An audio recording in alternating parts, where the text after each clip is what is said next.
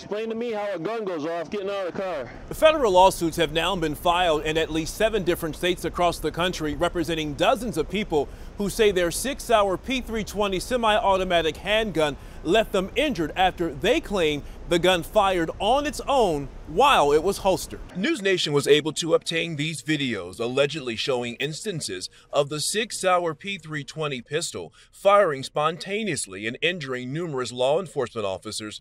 Attorney Robert Zimmerman represents more than 80 people from around the country who all claim they were injured by the Sig Sauer P320. Sig Sauer has denied that there's anything wrong with the gun. And Zimmerman, the attorney you just heard from, says his clients want to be compensated for their injuries as well as lost wages.